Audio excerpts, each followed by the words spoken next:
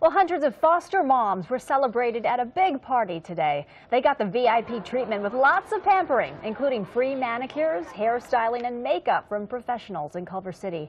Event organizers say going over the top for these moms also benefits their foster kids. When we can give and bestow lots of gracious generosity and kindness, I think it extends to the foster children and the way in which they're cared for and how they see themselves. Foster kids had their own area of fun, including carnival games, clowns, magicians. The group Foster Care Counts hosted today's event. What All a great event. yeah.